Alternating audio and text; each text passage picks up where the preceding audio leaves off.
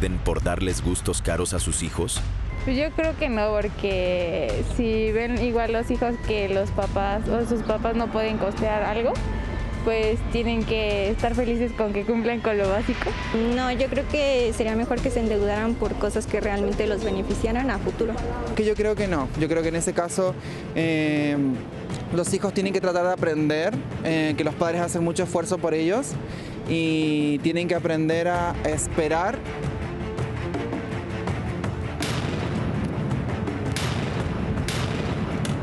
Los hijos tienen que aprender, dice nuestro sondeo.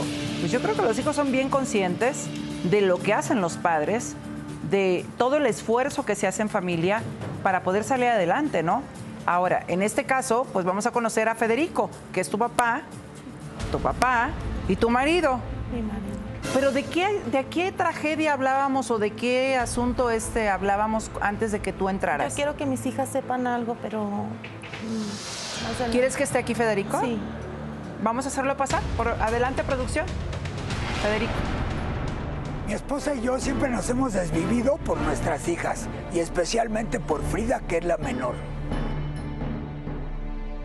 Hemos hecho todo lo que está a nuestro alcance para consentirla y que nunca le falte nada.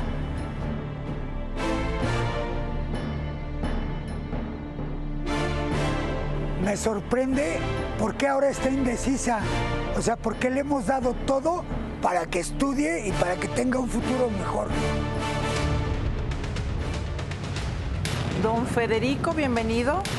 Primera vez en toda mi carrera que quien hace la pregunta se da la respuesta.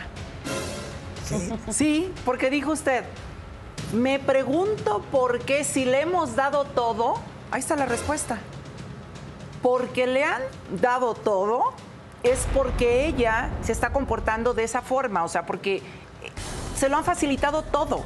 A los hijos, creo, no le debemos facilitar las cosas, no todas las cosas. Y puedo estar equivocada, soy mamá. Al final del día nadie enseña a nadie a ser padres, pero yo recuerdo en mi caso personal que me ha costado mucho ganarme la vida, lo disfruto más y lo valoro muchísimo. O sea, cada logro, cada, cada escaloncito que yo voy subiendo, eh, de verdad que es, es con mucho esfuerzo y es una gran satisfacción la que siento cuando logro algo, ¿no? Entonces, ahí yo creo que está, puede estar la, la respuesta, ¿no? El Dicen darlo que, todo. a- que a los hijos les tenemos que regalar un poquito de hambre y un poquito de frío para que crezcan y maduren. Y creo que es lo que le ha faltado en este caso a Frida. Y además, además de haber hecho esta diferencia tan grande entre ambas, creo que no ha sido buena, eh, bueno ni para una ni para la otra. ¿no? Mientras una siente que tiene que ganárselo de alguna forma, ella siente que no tiene que hacer nada y que todo se lo merece. Pero aparte, o sea, la actitud de Anaí me llama mucho la atención, Anaí, porque eres dos años mayor que Frida y parecieras como si tuvieras la conciencia de una mamá, como la responsabilidad de una mamá y tan solo le llevas dos años. Mario, pregunto, ¿es ilegal hacer diferencias entre los hijos? No, para nada. Cualquiera, digamos, dentro de, las, de las familias, pues sí se entiende que va a haber diferencias. Incluso hay una previsión eh, legal para cuando hay preferencia para uno de los hijos, puesto que sí puede haber una afectación psicológica hacia los otros. Ajá. Y hay institutos encargados de tratar de enseñar a los papás a ser papás. Eh, pero no hay ninguna ilegalidad. En cuestión de estudios, tendría que ser equitativo, ¿no? Sí. Los ahí- derechos. Ahí cambia, ¿no? Es obligación de los papás darle a los hijos eh, equidad, ¿no? Ya si ellos deciden, yo no quiero estudiar, prefiero trabajar, bueno, es una decisión eh, de voluntad propia, pero por lo menos hasta los 18 años y si continúan estudiando, darles todas las herramientas para hacerlo. En caso de que sí haya una distinción de herramientas, pues claro que estaremos cayendo en, en violencia familiar, pues Claro. porque le doy a uno de los hijos un mayor aporte que al otro. Ok, ahora, ¿por qué, don Federico? ¿Por qué la sobreprotección hacia Frida?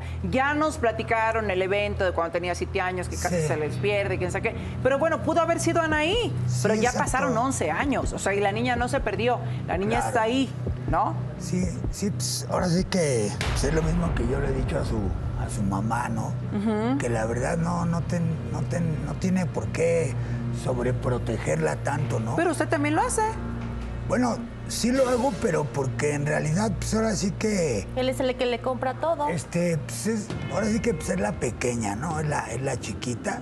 Pues ni tan chiquita, forma, y ni es- tan pequeña, nada más le lleva dos años. Sí. Anaí. Sí, lo que pasa es que la verdad sí ha sido mi, pues como que mi consentida, ¿no? La verdad. Y he tratado de darle pues, todo lo poquito, lo mucho que, que he podido. Este, yo soy mecánico y este, y pues ahorita hasta he hecho este, algunos ahorros y todo Lo sé. para este, pues para poderle dar este, pues ahora sí que su universidad, lo que ella quiere estudiar. Y ya sabe que no quiere estudiar la universidad. Pero sí, ahorita realmente, realmente me siento pues, triste por esa situación, porque pues, ahorita la niña, este, al parecer, pues ya no, ya no quiere estudiar, o sea, que se quiere ir que con el novio, que no sé qué, que. Pero Anaí sí se quiere estudiar. O sea, Anaí sí, Anaí sí. ¿Y por qué no le da la oportunidad a Anaí? Entonces es lo que pues, también a últimas, este, yo creo que vamos a ir pensando, porque. pues, o sea, No, pues vamos a ir pensando, ya piénselo desde ahorita, no vaya a ir, ¿no? O sea, piénselo desde ahorita.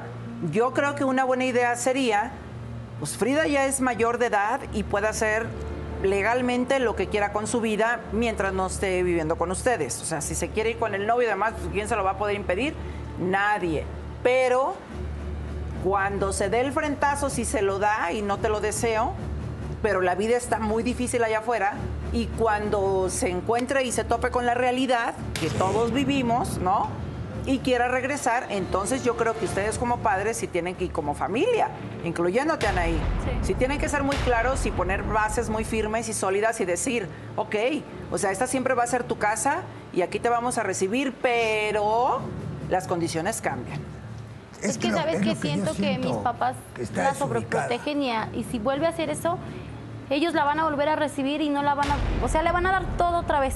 Pero tú también la sobreproteges. Bueno, yo también tengo culpa, entre los tres tenemos la culpa. Es una envidiosa, Rocío. Yo te quiero preguntar, Anaí, tú como hermana mayor, porque tienes derechos y muchos.